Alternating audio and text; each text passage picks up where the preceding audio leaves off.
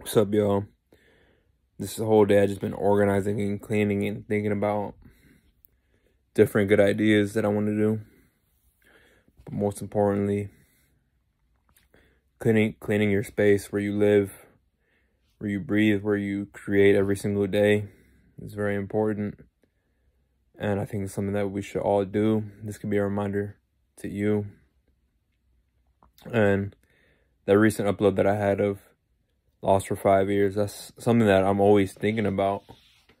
Um, just resetting my mind and reevaluating life as a whole. And that's something that's very important. And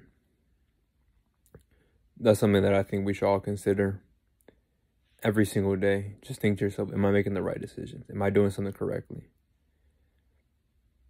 One of the, the biggest lessons I learned is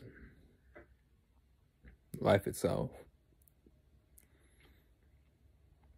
Because you go so far, knowing so little, and then it comes a point where you're like, so this is how this works.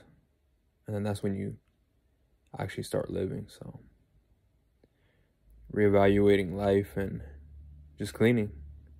I love and appreciate y'all.